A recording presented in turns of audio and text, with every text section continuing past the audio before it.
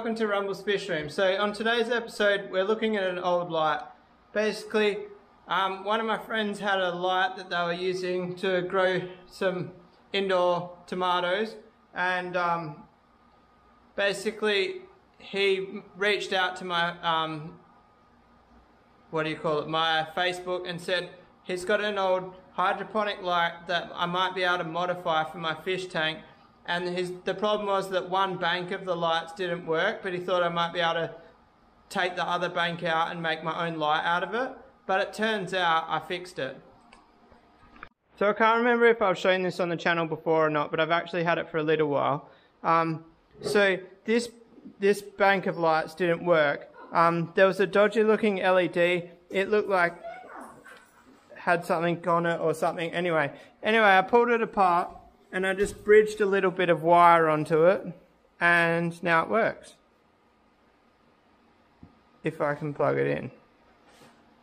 Yeah so it's crazy bright like obviously especially the camera doesn't like it. So which brings me to my next point. So this is a 500 watt light. Um, there's a bank here.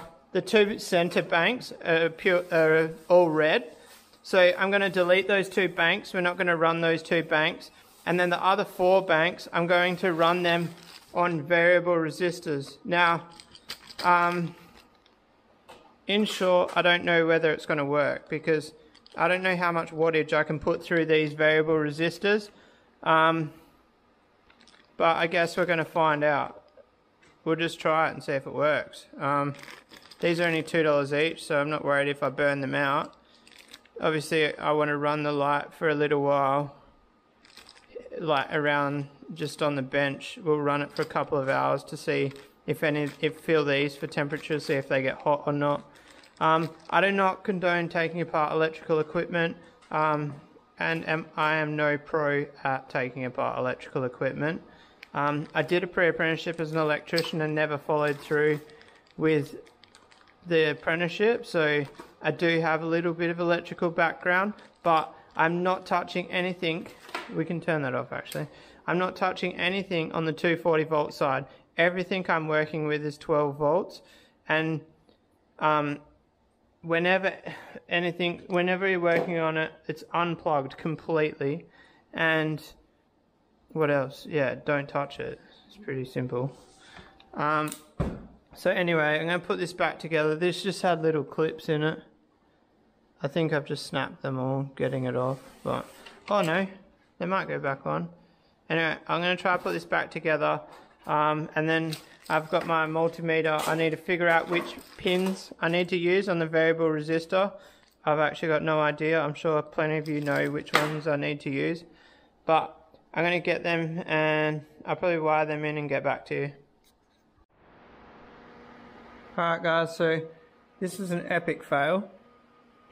Um, it only cost me like $14, but it didn't work.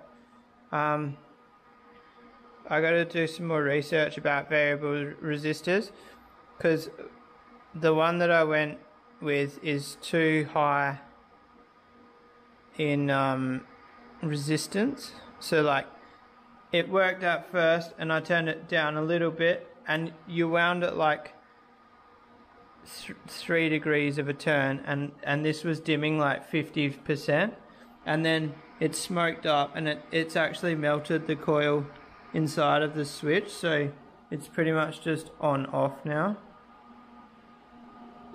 Um, but one thing I've learned is it's definitely going to work. So that means that I can find a correct variable resistor to run this and we should be good. In the meantime, I'm going to put this all back together. Um, I'll unplug that box completely. I'll actually unplug all of them except for two and we'll run, I might run two banks of lights and just have two on the other four banks turned off and we'll see how the plants grow with that. Um, they, it is a bit heavy in the red but um, I could always do what I've done with this one and like take a couple of reds out and solder bridge the solder Um, I think that's what I'd do. Look at it, it's, you guys can't really tell what colour the lights are.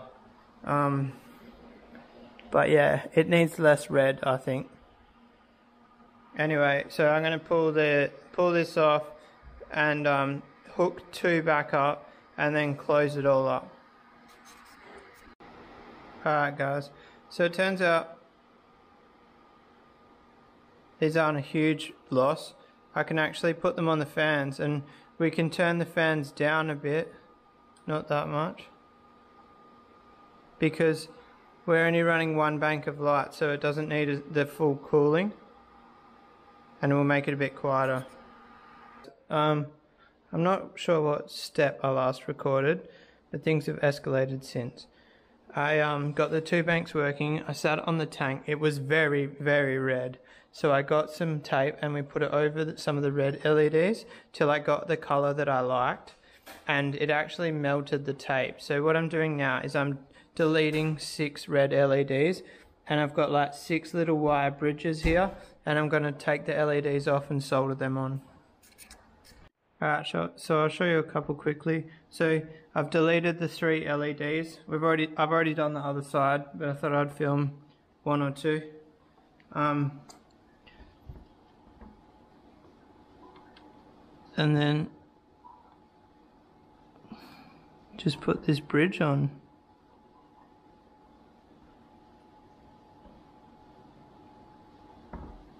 Like that. Job done. This is just um, speaker wire. It's actually, it's a pretty thick gauge.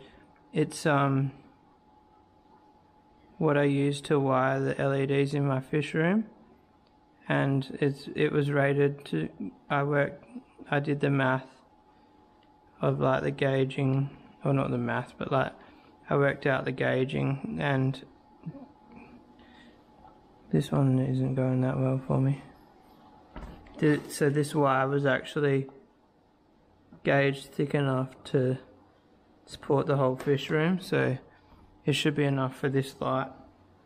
Um, so my guess, roughest, this is a 500 watt light, so we're only using um, one third of the light, which is like 160 watts and then we've actually we're deleting six LEDs so I don't know how many watts that is. So we'll say we're drawing about 150 watts total which means 75 watts per side. So I'm guessing roughly I've got no idea if I'm right here or not but I'm guessing like 75 watts is potentially passing through this bridge that I'm making.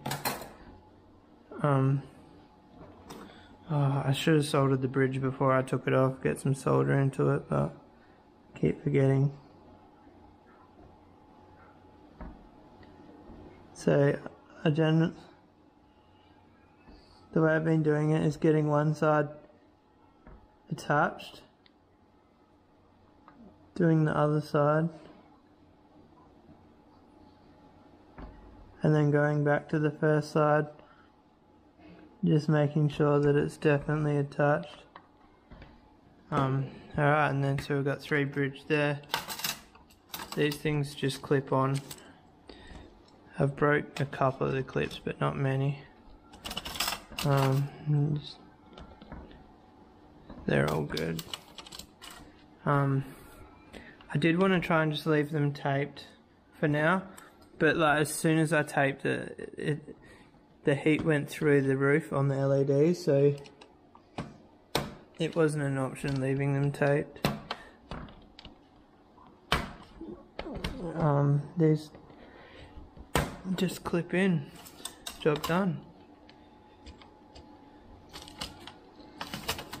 Uh, deleted. I deleted the opposite to that side. Whoops.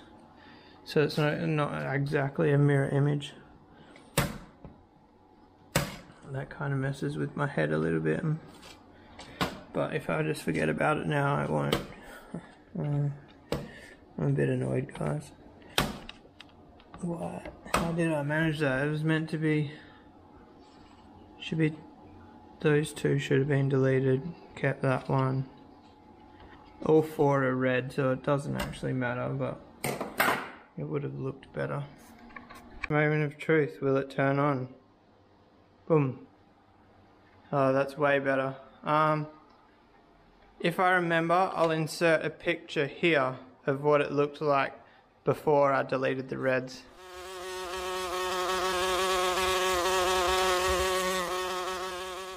Alright, so it's really hard to see on camera.